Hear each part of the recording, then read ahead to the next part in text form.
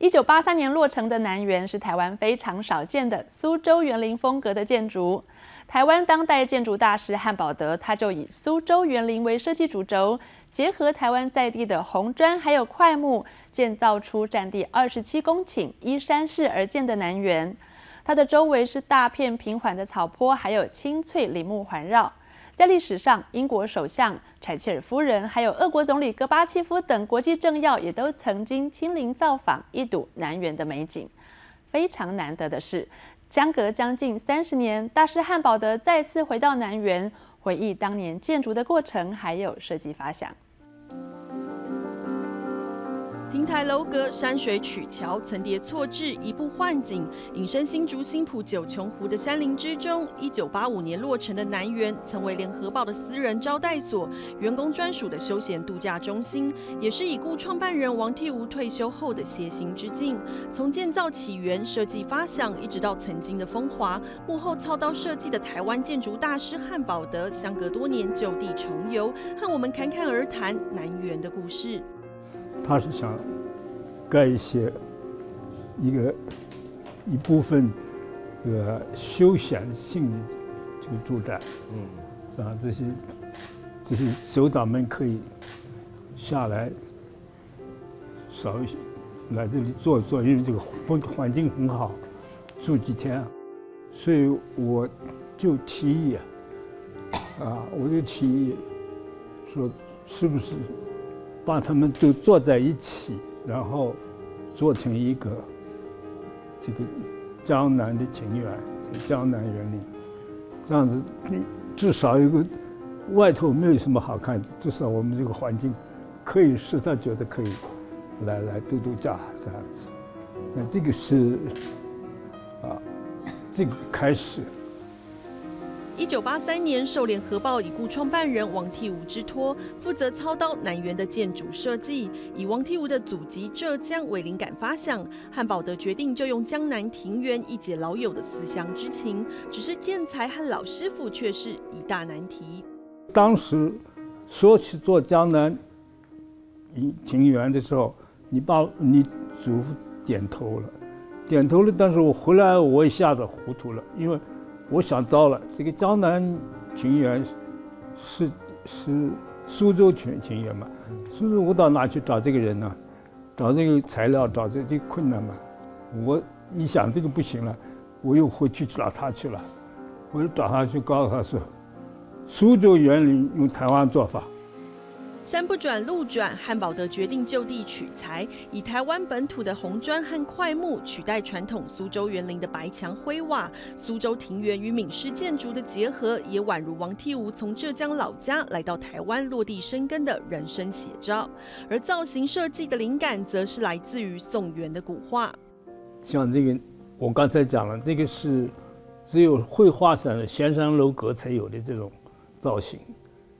这个怎么可能盖出来呢？嗯，我那些是不是啊？在我研究这个东西时候，啊，我看很多这类的这个图片，从唐朝到到元朝，很多画家画这样东西。古画中的仙山楼阁实体画，一砖一瓦都得细细考究，哪怕是屋檐角落的雕刻，也都出自世代传承的工匠之手。全都是有些。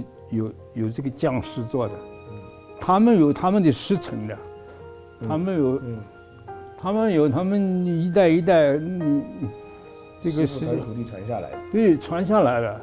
什么房子在哪个地方该雕什么东西，它也是常年来有这么一个一个一个一个传统。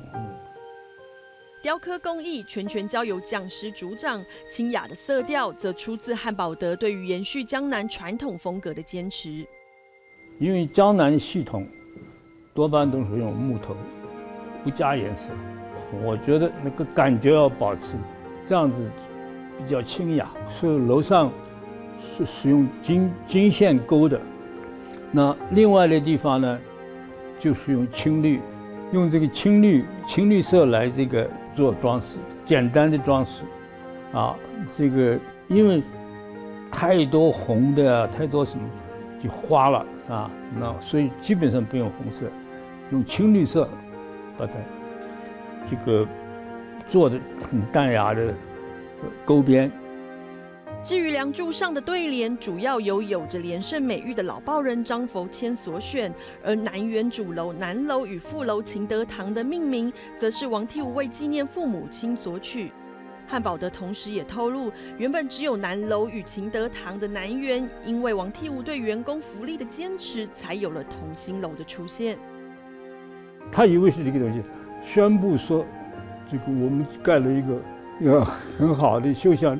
中心，员工形象中心就快完工了，啊，大家以后就可以去。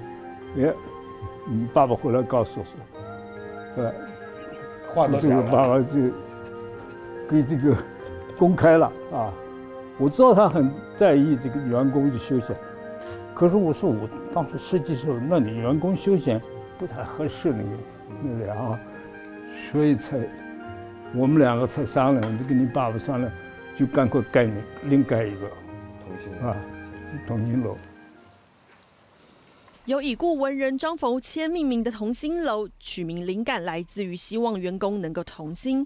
历时两年，一九八五年南园正式落成，提供联合报员工休闲度假的同时，也是报系的私人招待所。曾经接待前苏联总理戈巴契夫、前英国首相柴契尔夫人等国际政要，直到二零零七年才正式对外开放。园区内还提供了导览的服务，引领民众进一步认识南园。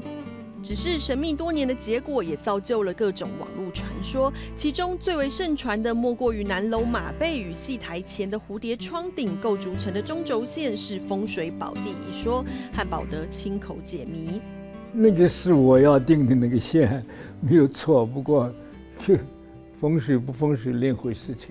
我那个定，因为你你这这这这个是建筑环境问题嘛。嗯，你站在楼上看一看。如果你弄得东倒西歪的，那不好看了，嗯，是不是？嗯，你跟这个大环境怎么配合？嗯，啊，那当然都是有意做成的，啊。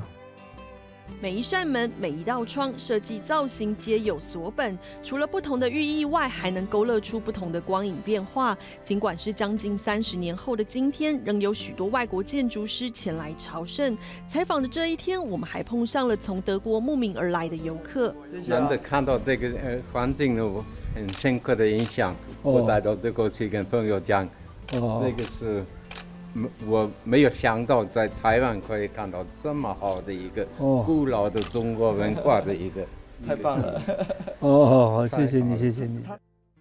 尽管如此，许多细节看在汉堡德的眼里，仍有许多不足之处。说这边做出一个有点有点这个曲线做出来，这个不要，但是我想的是比较窄的这个。这个窄，这个宽，再对一点。现在看这么这么厚，做好了我不好意思再这么敲掉了。哎，好在大家都都没有批评啊，也没有。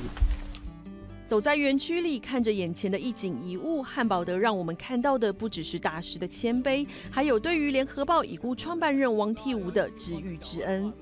那这个是一个文人的一个梦想了，嗯，是不是啊？我会把一个自古以来的文人的梦想，把它做起来，啊，啊，我我是觉得是啊，对我来说是一生中间很重要一件事，我是非常感激你这个祝福。早年从浙江来到台湾，展开人生的下半场。对王替吾来说，南园不只是重建了回忆中的故乡，更是他台湾的第二个家。而将近半甲子的风华岁月，南园所写下的不只是台湾建筑史的精彩篇章，还有一代报人与建筑大师习才之遇的故事。